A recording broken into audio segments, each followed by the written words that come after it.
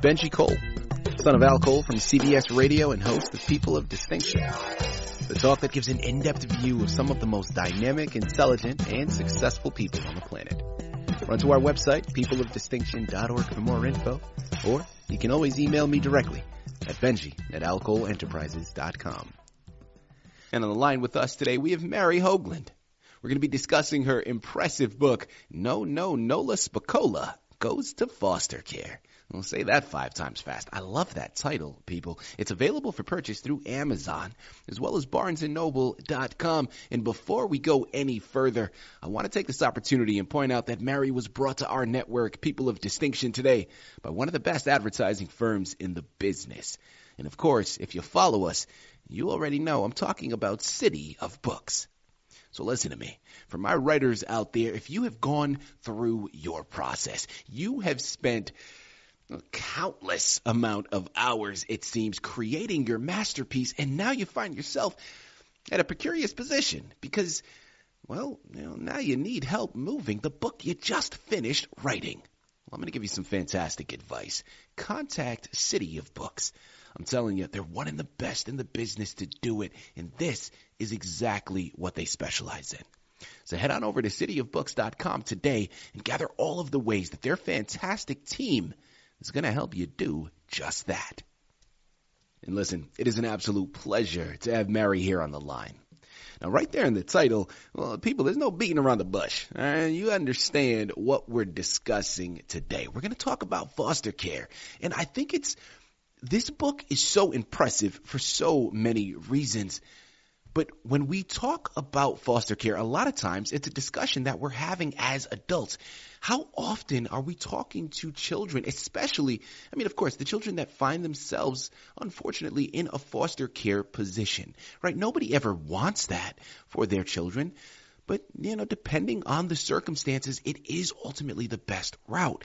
But it can be a very confusing situation being displaced from your home and finding yourself in unfamiliar territories.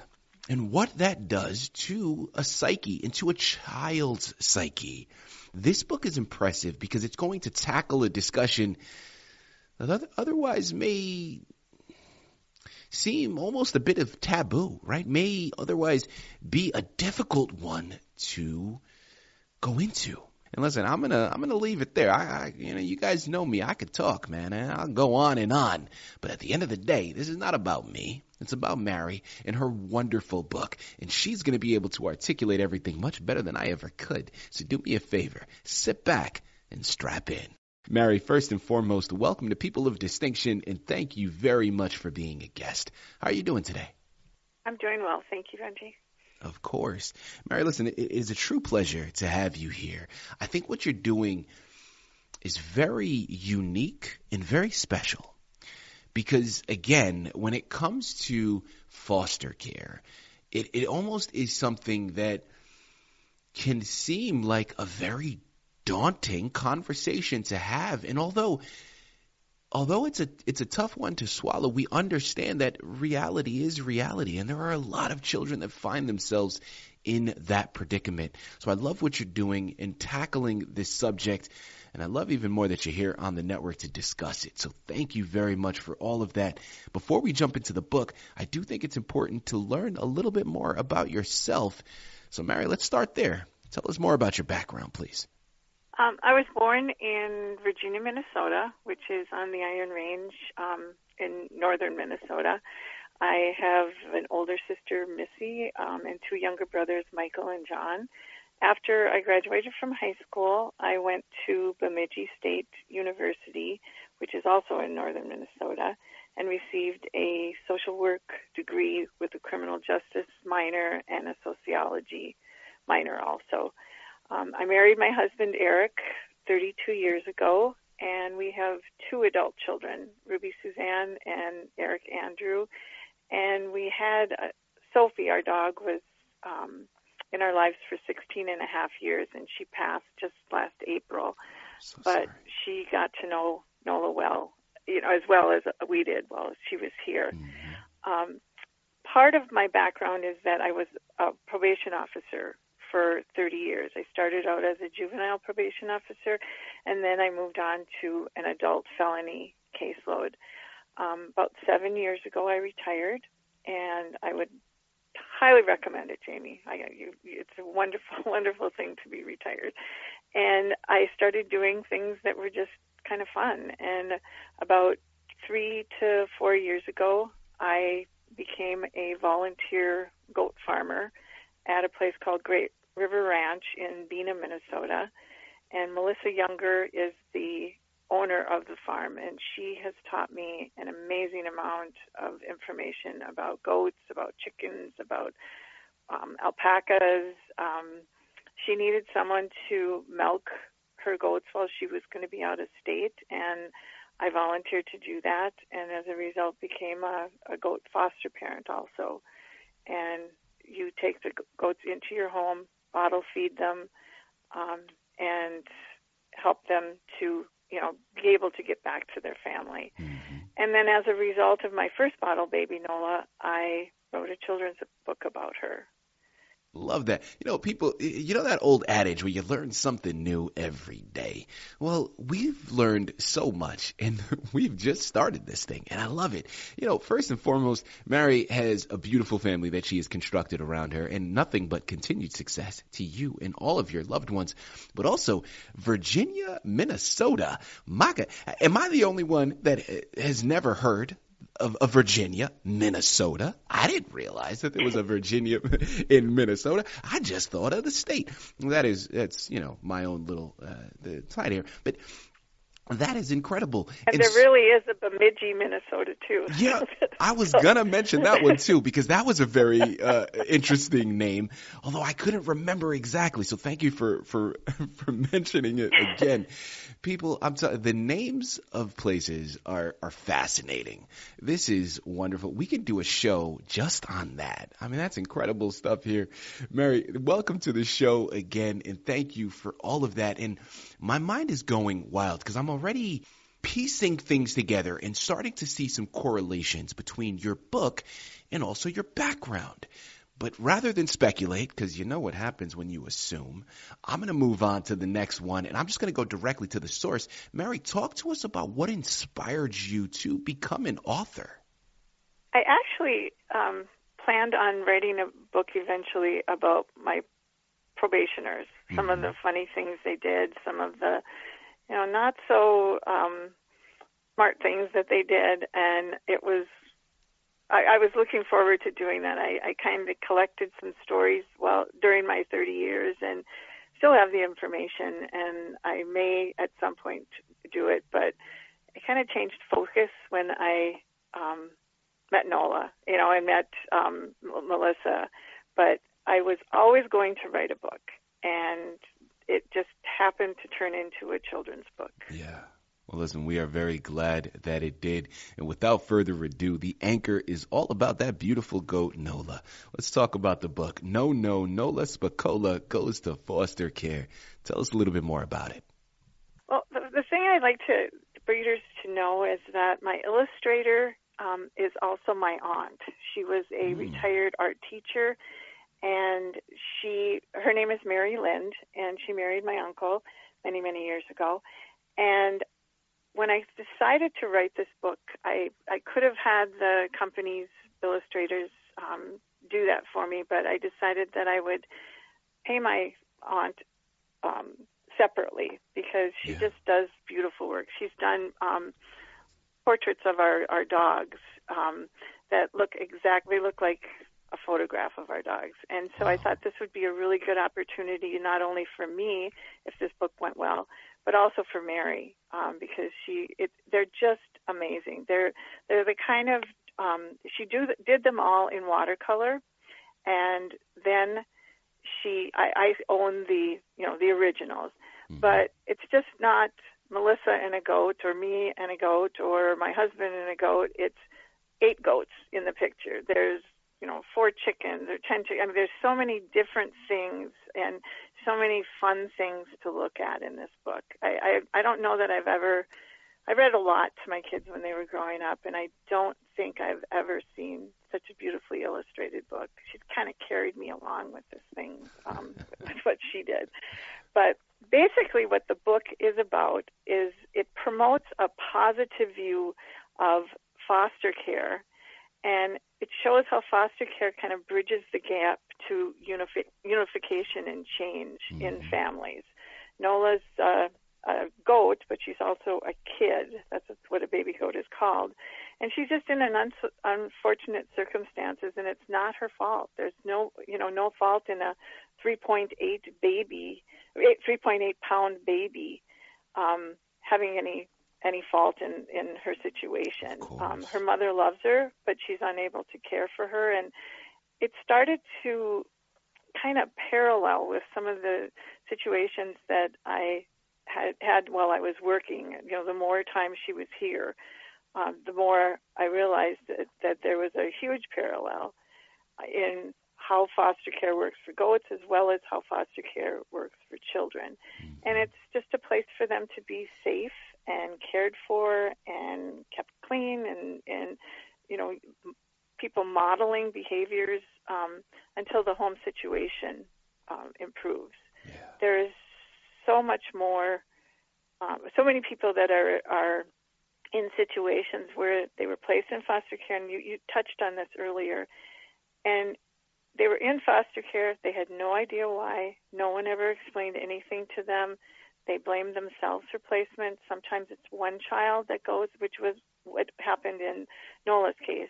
There were three um, three babies born. She was one of a triplet, and Nola was chosen by um, by Melissa to leave the home. The mother couldn't feed all three of the children, and so she picked Nola to go into foster care because she was just a beautiful, special um, goat. I mean, she like her coloring is just gorgeous, and it she so she went to to our house, um, and like I say, there's so many family issues that are generational. Um, multiple reasons. There's abuse, trauma, pre, um, PTSD, low self esteem, all kinds of things that could have been avoided if they had been better informed about their situation. And that's one of the reasons that I, I wrote it down.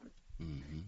You know, Mary, quick reflection here. And I, I love what you're talking about because again, as I, as my team and I were doing research in preparation for today's interview, and of course we came around your background as a parole officer and a probation officer, I can't help but to speculate between children that find themselves in foster care. And again, we've mentioned it. You just talked about the confusion that comes with it if it's not articulated to them properly, what that does to their psyche and ultimately, and, and again, it's not a one size fits all. There are plenty of nuances to it, but people that then find themselves committing crimes later on in life and find themselves in unfortunate circumstances being locked up and in trouble with the law. And really, if, again, my psychology background, even though I don't have a psychologist, I took Psych 101, so now I'm a therapist. No, the psychologist in me looks at that and, and I'm finding a correlation between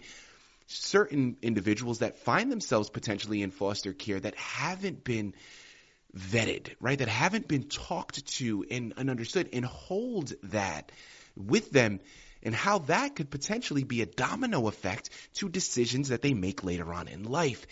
And I think that's why so your book is so important to be the catalyst, to be the precipice for that conversation. I think it's so valuable that is just one side of things, but it's a reflection that I, I had to make because I think there's a connection and something that is valuable there to really be to be talked about and, and, and, and again cannot be overstated. I love what you're doing here. My follow up question is that title. I mean, I'm piecing it together, but I love it. okay. No, no, Nola Spicolla goes to foster care. Talk to us about that title, Mary, and, and really why you chose it to be the representation for your book. Before I do that, um, Jimmy, can I comment on Absolutely, what you just said about the criminal behavior? Yeah. I we we did what are called pre-sentence investigations. It's, it's like you do a kind of a social history of a person and kind of look at what their needs are, mm-hmm. you know, while they're on probation. And I'll never forget the time this young girl came into my office and she had committed a crime and I one of the questions I asked her was what was life like growing up in your family and she said what do you mean and I said well did you have enough food? Did you have clothing? Were people you know there for you? Yeah. and she said oh we had plenty of food but we just didn't have anybody there to to cook it. She said I learned to cook at 5 years old. Mm. and I my parents were never home and they were both had addiction issues. And she said and then I got really tired of being a parent at 11 and so I knew that the only way I could get out of there was to commit a crime and th- those are some of the the horror stories that children are living in Yeah. these days. And it's it's a very sad sad situation. And and I um I did have a social work um background and um I probably was more social worky than I was probation off you know the punitive kind of thing. They used to call me Mhm. the social worker at work. But just understanding the dynamics of what people are living in and so many people just can't even grasp I I mean I couldn't grasp it I you know grew up in a home where there was plenty of food and you know my family was intact until I was an adult Mhm. and um it just it's very sad some of these situations that Yeah. that we ran into and that are happening so I can't imagine what social workers here you know the ones that are doing the placements Yeah. but they don't understand or they need to leave because they can't do what they're doing and oh, it's one of those those stories I'll never forget you know it's just I just found that one to be very very sad Yeah. So- oh, of course. anyway I will I'll go on to the title um I no Nola was kind of naughty at times and she would um when she was in the house she had to have a diaper on because they don't like small children they don't have control um and so she needed to have a diaper on when she was in the house and she needed a onesie on to hold the diaper on you know onto the uh, on her body Yeah. and she would jump from the chair to the couch to the computer table, grab a piece of paper off of there, run across the back of the couch, and go back to her chair and look at you as she was chewing up your um, report that you just finished typing. so, so she was just kind of, and so it was started with things like, no, no, no, no, you know, or she'd find the flower bed and she'd be chomping away, and it was always, no, no, you know, no, no, no, Nola, and she just kind of got that that nickname because she she almost kind of smiled at you when she was doing it. She was having so much fun. And then the Spicolla part, I have no idea. It was kind of one of those rhyme time things where Mhm. Um, she was out. Her and my dog were chasing squirrels outside, and I yelled Nola, you know, to get her to come, and she was totally ignoring me. And I, I, I just it just came out Nola Spicolla, and she came running right to me. So she ended up her her actual registered name is No No Nola Spicolla. So we call her No No, we call her Nola, we call her Nola Spicolla, we just sometimes call her Spicolla. So it's it and she went to foster care. so it was kind of a simple um simple way of coming up with the name, I guess. Right. I love it. I absolutely love it. You know, li- listen, Mary, you're making me want a goat, okay? And here in Los Angeles, where I live, I don't know if that would be appropriate, but I, you know, I kind of want a can't just get one goat, you have to get two. you can never just get one. well, yeah, well, you know, me, I'll talk to my wife about it. Eh, Let's see. Christmas is around the corner. We'll see. No, um, this is a beautiful thing. Listen, Mary, as we start to, to close out, I'm curious what you would say for this next one. But I, I have what I envision in my mind as your intended reader. But who would you say is your intended reader for the book? You know, I think it's a book for everyone. It's a book for foster children who need to know that it's not their fault. It's for non foster children that are going to school with these kids that need to know that it's not their fault. Um, I think it's for therapists can use, it, use this book in you know in therapy, in play therapy. Um, you know, counselors, small children can, like i said before, they can just count. You know, you can teach counting with them because it's such a beautifully illustrated book. I, I can't say enough about Mary Lynn's work. Mhm. Um, and I guess yeah, it's fun, it's entertaining, it's educational, it's you know, there's awareness, and it it shows that it's not your not the children's fault. So anyone can read this book, and I think that um, hopefully they're going to catch how much Nola, you know, became a part of our family because she, like I say, it's like having a little puppy that you have to have a diaper on because they they don't smell, they don't. She slept in a in a um portable crib next to our bed when my when my husband came she came into the house she walked in my husband said she's going to be in a cage down the basement. I opened the door. She had like a under armour onesie on. It was the cutest thing. And he he was sitting on the couch and i just set her down and she's three point eight pounds. And she turned and looked at him and goats don't goats don't walk for the most part. They dance. And she just danced over to to him on the couch and he picked her up and he was like oh my god. Oh my oh oh no. Oh oh my oh and he went out and bought her a pack and play the next day for the the portable crib the next day for her. And it's i like I say i think it's for everyone. And i think that it's a good book. It really is especially the illustrations. And it has a good message.